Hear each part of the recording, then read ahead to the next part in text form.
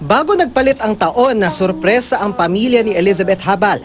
Ang pamangkin niya kasing person with disability na si Raymond, nadiskubre nilang may naipon pa lang 38,000 pesos. Ipinagtapat lang daw ni Raymond na meron siyang ipon ng kapusin ng pamilya sa ipinapagawang bahay. Inipon daw ito ni Raymond sa garapon at itinago sa basurahan.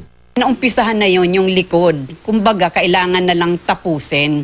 Ngayon, binolunteer niya na may naiipon siya. Kaya nagulat yung nanay niya at saka yung kapatid niya na may perang natatago. 2006 daw nagsimulang mag-ipon si Raymond galing sa pagkayod ng buko, paggawa ng minatamis, pag-aalaga ng baboy at paniningil sa mga kapitbahay na nangungutang sa binabantayan niyang sari-sari store sa Sorsogon. Pero may isa pang sorpresa. Ang pera naging bato pa. Ang naipong pera lumang disenyo na at wala ng halaga. Sinubukan nilang ipapalit sa Bangko Sentral ng Pilipinas ang pera, kapwa sa Legazpi Albay at dito sa Metro Manila. Pumunta mismo sila sa BSP sa Legazpi ba yun? Oo.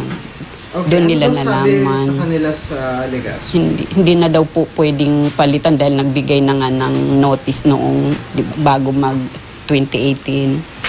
Ah, kumbaga expired na po yung pera.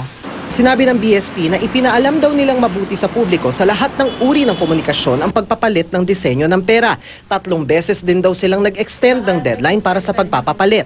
public money yung ipapalit ng Bangko Sentral dyan. At hindi kami maaaring uh, gumamit ng pera na pinagbabawal ng palitan. Kaya hindi kami maaaring gumawa ng ganon.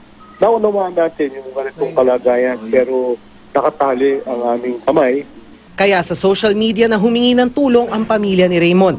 Yung kailangan niyang bilhin, hindi niya binibili. Na-appreciate ko po mula nung pinost ko po ito is yung kung paano nila nakita kung ano yung hardship na naramdaman ng tao. Yung pera na to, s- BSP rin po yung naglabas. Kaya sana mabigyan pansin nila kahit yung ganitong special na tao man lang. Sa tulong ng ilang nangongolekta ng lumang pera, nabili na ang 31,000 pesos sa inipon ni Raymond. May 7,000 pesos pa na umaasang maibebenta rin. Kay nanay. Dano Tingkong, Nakatutok, 24 oras.